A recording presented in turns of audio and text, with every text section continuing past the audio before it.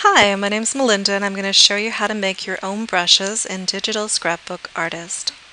So the first thing you want to do is go to the right hand side and we've got a number of tabs here. We've got Effects, Online, Brushes and Layers. Since we're making brushes, click on the Brushes tab. Now you might have something else listed here. I have stitches and eyelets listed because that was the last time that I used the brushes. What you can do is you can click on the pull down tab and then using the scroll bar move up until you see workspace. Click on workspace because all of our brushes that we are going to be creating will end up here. Now I went into a Digital Scrapbook Artist and I opened the Dollhouse kit which is free with the software and I just took these two embellishments over here. So I'm going to take this flower and what I'm going to do is I'm going to make it a little bit smaller and then I'm going to take this flower over here and I'm also going to make it a little bit smaller. I'm going to kind of make it almost the same size, just maybe a little bit more in that direction. Now I also want to take this flower, which is this flower here, and I want to place it over here. I could easily drag this one over here and then make it smaller, or because this one's already the size I want, I can leave it selected, hold down the control key on your keyboard, hold down your left mouse button and drag it to its new location. Let go of the left mouse button and then let go of your key control key on your keyboard. So now I've got this image and I can make tons of them if I wanted to. I can make a whole bunch more, but I'm just going to leave these three as they are. What I need to do is turn them into a photograph. So to do that, make sure that select is still selected. Draw an imaginary box around your images, whichever ones you use. You can use one image, five images, 10 images, it doesn't matter. Completely up to you, depends how you want to create your brush. Now you need to go to the top of the screen and click on File, then Export, and then Export as Image. Now when you're into this new box that appears, two things very important. Make sure that there is a dot beside 24 and make sure there is a check mark beside transparency. Then you click on export.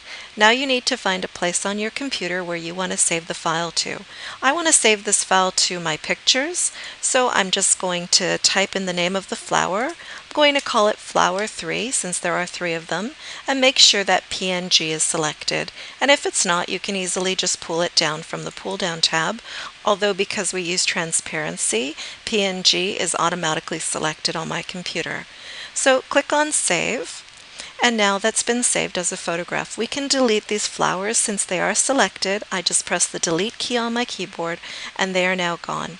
Now let's create the uh, brushes. To do that, go to the top of the screen and click on DigiKit Creator. You have a number of options over here, but since we're creating brushes, you're going to stop when you get to brushes and click on that. Over here you can see that we don't have any brushes listed because we haven't created any.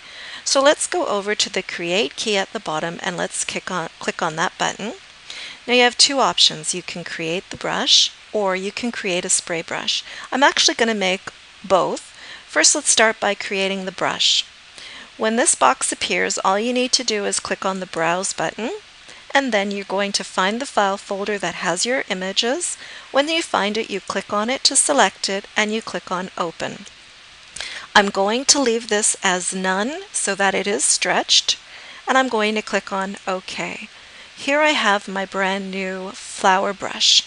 I'm going to make another one. I'm going to click on create, create brush, click on browse, and then click on flower so it's selected, click on open, but this time I'm going to drop down and I'm going to click on simple and I'm going to click on OK. And as you can see, I now have another brush. Let's make one more. Click on create, create brush, browse, click on your image, click on open, and this time I'm going to cut it apart into nine pieces. And you can see that there are nine lines that go through the flowers. When you're happy with that, you click on OK, and there is our next brush. Now I'm going to create a spray brush. So click on Create, Create Spray Brush, and here you would click on to add your photograph, and I'm going to click on the flower. Now, if you had more images, you would click here and you would add another image and onward and onward. But in this case, I'm only using one image. So the very first one that it created for me, I think is very pretty. I'm going to click on OK. Now I'm going to create another spray brush, but this time I'm going to make adjustments. So I'm going to click on here to add my image. And then when my image is inside, I'm going to adjust it by clicking on the spacing button over here. And you'll see that now you have this new slider. And when you slide it, you get a preview down here of what your image is going to look like. So you can keep sliding until you're happy with the spacing. You can also play around with different portions here. You can make this part go around. You can also make this part come out. You have a rotation where you can rotate the image. I'm just going to leave it like that. And you can also do a different sort of incline on your rotation. And I'll just leave it like this. And I'm going to click on OK. So from my one photograph, I have now made five different brushes. What you can do now is you can save your DigiKit or if you don't want to save it, you just want to see what it looks like, you click on Done. And now you need to have some sort of image on your screen so you can apply the brushes to. What I'm going to do is go to the top of the screen and click on Shapes, and I'm just going to click on the heart shape. I'm going to draw a heart on my screen, and anytime you use something from the Shapes menu, you're going to see these sliders. You might have a slider here, or a slider here, or one here, or one here. You may have two of them, you may have three of them. When you slide these sliders, you can adjust the shape so it can look a little bit different depending on how you want it to look. When you're happy and you're finished with your shape, you need to click on the select button. Now, once you click on the select button, you can move your shape around. If you forget to click on the select button and you start to move your shape, you're going to see another heart shape is going to be forming, or depending on what shape you used. Next thing that you need to do is go over here and click on the word color. Now as you can see the first image is to the front and that's your fill. So if this is to the front and if I click on a color then you're going to see that this image is going to fill with that color but I don't want it to fill with the color. I just want the transparency. So I clicked on this little transparency. What I want is the outline. In order to activate that, you have to click on the outline. You bring this to the front, and as you can see, it's covering the transparency now. This is the one we want to work with. I'm going to click on my flower, the very first one, and to adjust the size of it, I need to click on this tab called the Line tab, and now I can pull this into the uh, right hand side and I can make this bigger. And when I click off of this, this is my new heart and this is what the brush I've created looks like and this was the stretched brush. I think it's a very pretty effect.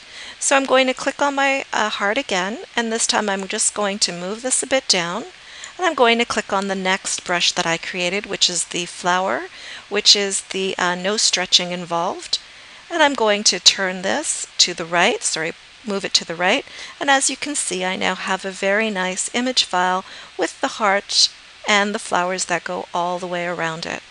Let's have a look at what the next one looks like. I'm going to click on this, I'm just going to move this down, and I'm going to click on the image of the photograph that is now cut into nine sections, and as you can see we have yet another effect.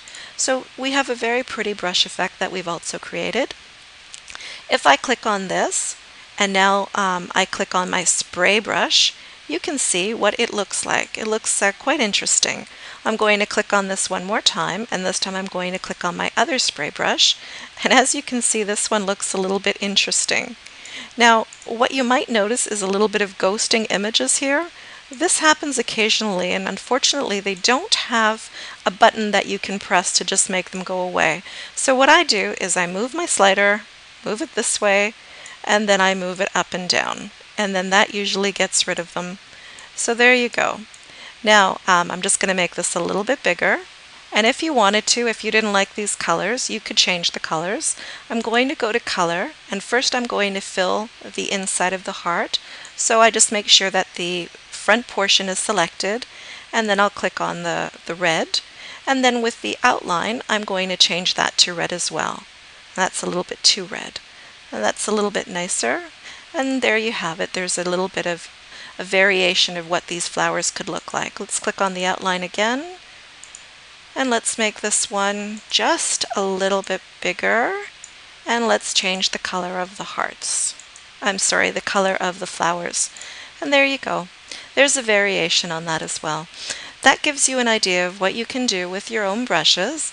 And if you have any questions, please feel free to email me. My email address is lovemyzombie at yahoo.ca.